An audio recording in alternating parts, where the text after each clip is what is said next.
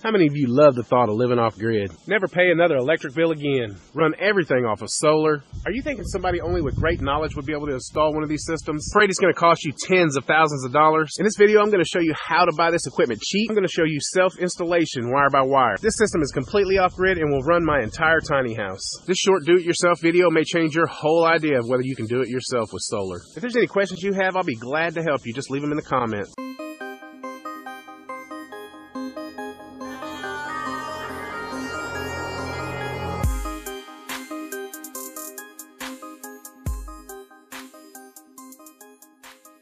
Hello guys, we're going to go over a couple things about solar. A lot of you want to know just the simple basics of solar and are you going to be able to set up your solar system yourself? Well, I set up mine and I'm going to show you exactly how I did it and maybe this will work for you. Now I've showed you these panels in several videos, but what I haven't showed you is in detail how they're hooked up and how they actually work. When you buy solar panels, you're looking for, in this case, 24 volt solar panels. Most of your panels these days are going to be a 24 volt. The way you're going to be able to tell is you're going to look at the sticker on the back of the panels and you're going to look at the open volt circuit or volts open circuit VOC. Let's go down underneath the panels here and take a look at the sticker on the back of these. Now what I'm seeing on the open circuit voltage or the VOC on these panels is about 40.3 volts. What this VOC means is if you have the panel set directly in the sun, you have a multimeter hooked to the positive and the negative, and you're not pulling anything or any amps off of the panel, it should show you a 40.3 volts. Then we also have on here what is called the VMP. That is 33.6 volts on this particular panel. What this means is the highest voltage that you're going to be able to get out of one of these panels when it's hooked to the charge controller is that 33 volts. And this is how we determine that this is not a 12 volt panel. It's not a 36 volt panel because it will only go to 33 volts. It's not a 48 volt panel. So what we're looking at is a 24 volt panel. How do we know that? Because it would be able by itself to charge a 24 volt battery because in order to charge a 24 volt battery, you have to be able to go above the volts of the battery. So if it was a bank of 36 volt batteries, 33 volts obviously would not be enough to actually put a charge into the batteries. This being said, this is how we determine that these are 24 volt panels. Now, let's see how we hook these panels together to make them 48 volts. Up underneath the panels here, there's two different types of wiring that you can do. You have series and you have parallel. Some of you already know this stuff and it's simple to you but some of you don't, and that's why I'm explaining it. Now you can decide to do whatever type of system you want. You can do a 12 volt, a 24 volt, or a 48 volt. I chose to do a 48 volt. The reason being is it's said to be that a 48 volt is much more efficient. And when you're off grid, what's one of the biggest things you're looking for? That's right, efficiency. Now, since I chose for this to be a 48 volt system, let me show you how I wired it up. Okay, once again, here's a panel, here's a panel. You got your positive and your negative coming off, just, just like what you would have a car battery. Each panel has a positive and negative. Okay, so the way I, I wired this in series to make it 48 volt, because remember these are 24 volt panels. We already established that. So in order to wire it in series, you'll take the negative, you'll run it to the positive here. Then you'll take the positive and the negative, and there is your new power supply. By the way, once again, it's the middle of July out here, and uh, bear with me, I'm sweating my butt off. Now, let's go take a look at these panels. Okay, I've seen plenty of YouTube videos that show you how to do what I'm telling you to do here, but I figured a lot of people were still asking, so I want to show you how to do it. So this is just like I showed you in the picture. 24 volt panel, 24 volt panel. Now, we're going to take the positive from this panel and the negative from this panel, run them together, like I showed you on the wire. And then the positive and the negative off this panel are going to have 48 volts. Okay, so we're going to take that 48 volts, we're going to leave the wires dangling here. And guess what? We got two more panels here. We're going to do the same thing to it. So we're going to do 24 and 24. We're going to make a 48 here also. Okay, so now what we're going to do is take this 48 and take that 48 and we're going to run the positive from that 48 to the positive on this 48 and we're going to take the negative from this 48 and run it to the negative on that 48 and that's going to give us a total of 48 volts with all four of these panels hooked together. Now, we could have wired these panels in 24 volts with all four of them hooked together, but we chose 48. So that's what we're dealing with.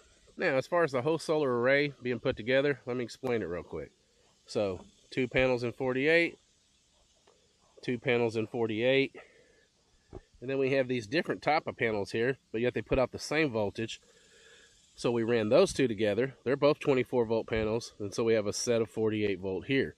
So we have 48, 48, 48, 48, 48. So that's a 48, a 48, a 48, a 48, and a 48. Now, what do you suppose we do with all these 48s? Well, I'm about to show you. We run them all together, and we send them to something called a combiner box. Yep, it's exactly what it sounds like. Combines everything together. So here is all the wiring, and yes, I could have done a better job. I could get it off the ground. I could put it in conduit, and I plan on doing something. I just have not done it yet. But here is all the 48 volt wires running up to the box here. Remember, all the panels are wired in 48 out here. So what we have coming here is all 48 volt. Now, inside of this combiner box are breakers. And that's just an added feature. It is basically part of the protection if you touch wires together, something shorts out, or even help in an electrical storm in some cases. Now, as you can see, all the wiring coming in, 48 volts, and then we have a positive and a negative coming out. This is everything combined together. Everything coming in from the panels, and then the positive and the negative wire coming out. Guess where that's going?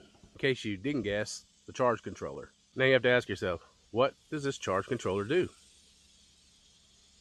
Yep, exactly what it sounds like. Controls the charge. Now the way I have it wired is it comes up and it goes right into the side of the battery shed. Let's check out the battery shed.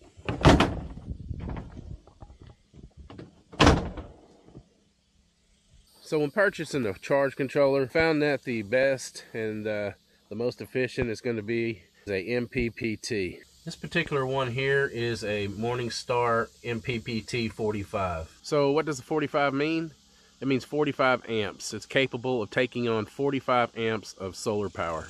Now whether you do decide to do a 12, 24, or 48 volt, which you should do a 48 volt, the maximum amps you're going to be able to push into that charge controller is 45. Of course they make a lot bigger, 65s, 120s, uh, uh, you can have several charge controllers. So total in my panels up here, we have a total of 3,400 watts. You know, if you're wanting to run a lot bigger system than the one that I have here, uh, more power to you. Literally. The reason I say that is because it's always better to have more power than you need than not enough when you need it. Okay, back to the wiring. So we have that 48 volt that comes in to the charge controller. That's coming from the panels in this case it's 48 volts and the uh, amps that are on it fluctuate depending on the sun um, I have seen as high as 42 amps coming in um, and then we have a max of 45 amps so I have to be careful that's really close to the max um, then what we have coming out is a positive and a negative just like we had going in and it's going to the batteries You've got your positive going to that battery over there, and you have your negative going to this battery over here. Now, just as the solar panels are done, so are the batteries. These batteries are 6 volt batteries, and they are wired in 48 volts. Why? Well, because we have a 48 volt system. So 48 volts coming in, wire your batteries into 48 volts. That way you can charge your, your batteries properly. So 6, 12, 18, 24. 6, 12, 18, 24. 24 and 24 is 48. And that's basically how we wired it. So we wired a set of four right here into 24 volts, a set of four right here into 24 volts, and then we cross them over positive to negative, just like we did on the panels, and we made it a 48 volt system. So basically this is one big battery bank that's 48 volts now instead of eight single 6 volt batteries. Does that make sense? Okay, so here we are. charging our 48 volt battery bank with our 48 volt system from the charge controller. This charge controller makes sure that the batteries don't get overcharged. It makes sure that it goes through the processes that they need to go through, um, like equalization. Those are things that help the batteries prolong their life. And then we run from the batteries to the big inverter. The big inverter here is what changes the power from 48 volts to 120 volts going directly to the house. So just like everything else so far, we have a negative wire coming to the negative, and we have the positive wire coming around to the positive. That's 48 volts going into this inverter. Now, keep in mind, this is made for 48 volts. It is a 48 volt inverter charger.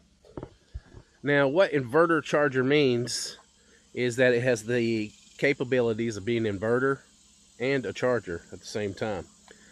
And you say, well, what does that mean? Well, let's say that you have three or four cloudy days. You're not getting any sun to your solar panels, but yet you're still using electricity. You're still using the refrigerator. You're still doing your daily activities with electric. You're running mostly off your batteries at that point, and your batteries start to get low. Well, this inverter charger is built to where you can back charge your batteries off of the inverter.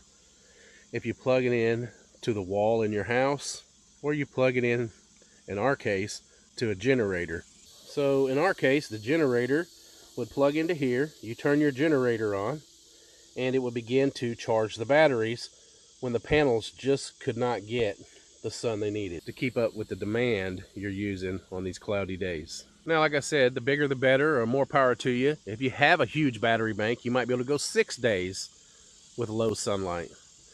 In my case, usually after about the third day, I'm struggling pretty good, and I'll have to fire up the generator. So now, how about the prices, and where are these things available at? You know, if you're wanting to build a system exactly like I built here, um, I can guide you in the right direction to get this equipment. Many times I've gone to Facebook Market and I have looked up solar panels and found panels just like these and purchased them. I'll give you an example of what I found on Facebook Market and what it cost me.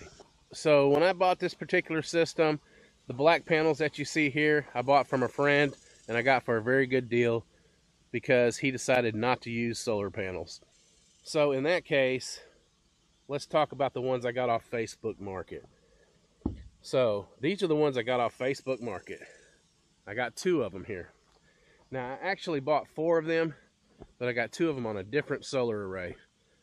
But right now I want to talk to you about these two panels. These panels are also 312 watts a piece. They are 24 volt panels. When I looked on Facebook Market, I found these panels for $100 a piece. But actually, when I look back on it, it was such a good deal, I should have bought all 20 of them. It's almost like you can't have enough, especially if you find them for a good deal. My advice is, if you're going to build a system like this that's going to run an off-grid cabin, I would start with at least 10 300 plus watt solar panels. At least a 45 amp charge controller. Make sure it's an MPPT also. At minimum, a 2000 watt pure sine wave inverter charger. Now make sure that it is a 48 volt inverter charger or a 24 volt inverter charger, depending on the system you decide to set up. Looking at some of the prices online now, this exact 48 volt inverter is about $950. Looking at this exact charge controller, it's running now at about $565. And when it comes to the batteries, these are lead acid batteries. If you're going to buy any lead acid batteries, you're going to have to have a core and it will probably cost you around twelve to fourteen hundred dollars for a set of batteries that you can run up to 48 volts. So if you're able to get these solar panels for a good deal, like I said, $100 for 300 watt panels, or even $150 for 300 watt panels, that's 50 cents on the watt. In other words, you're paying 50 cents for every watt. Uh, that's an ideal price. If you can get them for a dollar a watt, $300 panel cost uh, $300. That's what it used to be. If you can get them now for 150, especially brand new, 150 for a 300 watt panel, I think you're doing pretty good. Now, if you can get one for $100, that's a 300 plus watt panel. Now, make sure these panels are 24 volt panels. Like I said, sometimes they have them in warehouses and they're selling them. Sometimes they've been taken down off of a roof after about five years. Sometimes it's an insurance claim or something like that. Combiner box here is about 129 to $150. All the wiring that you see up under here and dragging along the ground here, you can get all that wiring to hook to these solar panels for about 150 bucks. Well then, wiring up your battery shed, like I have back there to your house, is a whole nother video. You're basically going to put wire underground coming from the inverter going straight to the fuse box in your house. Also, that charge controller is going to have several different settings for different types of batteries that you may be using, like lead acid versus the lithium batteries. You know, you're going to have to uh, size your own solar system by the electricity that you need. That's a good thing about a solar system is, uh, you know, you can always add things to it. You can always, uh, you know, add more panels, um, put you know, two or three charge controllers. Go ahead and add uh, wind power to it if you'd like. Uh, there's several things you can uh, do to upgrade your solar system. I'm going to give you the name of a website where they sell used solar panels and they sell uh, new solar panels but damaged and things like that. And uh, I tell you what I'm going to do. I'm going to leave some links in the description for the exact inverter charger that I have and the exact charge controller. That way, if you decide to go with the same type of system that I went with, you'll know exactly what you're getting.